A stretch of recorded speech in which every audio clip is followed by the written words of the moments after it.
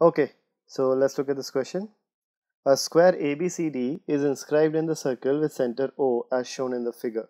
So the bigger square is ABCD and EFGH is another square which is inscribed in the semicircle with diameter XY. So XY is the diameter, XAEFBY is a semicircle and EFGH is a smaller square. Okay, and what we have to do is we have to calculate the area of the shaded region. Okay. So let's say the side of the biggest square is capital A and side of the smallest square is small a. Okay. So area of the shaded region, how can we calculate? Area of the shaded region will be Hg into this length. This length will be same as half of the side of the bigger square. So this becomes A into capital A by 2. This is the area that we have to calculate. So what basically we have to calculate is we have to calculate the sides of these two squares. Okay.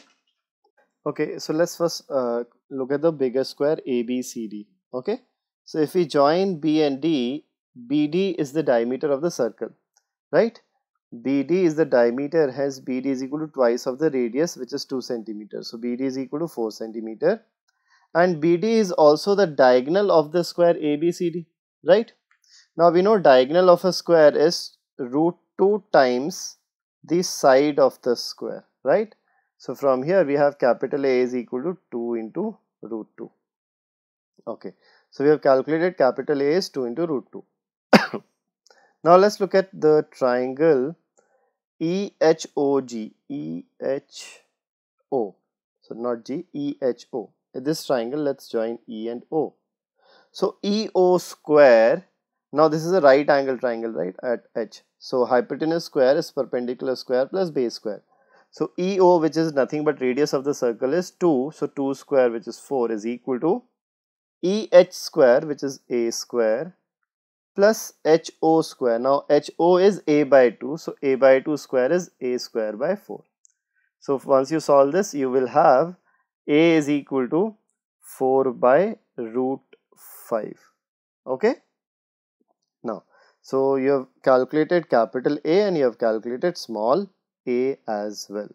Now the area of the shaded region is small a which is 4 by root 5 into capital A by 2. Capital A by 2 will be root 2. So this comes out to be 4 into root 2 upon root 5.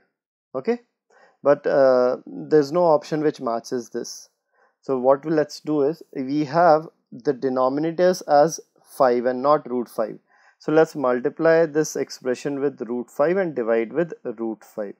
So what you get is 4 into root 10 divided by 5 which is same as option B here. So the correct answer for this question is option B 4 root 10 upon 5. Okay. So that's it for this question. Thank you.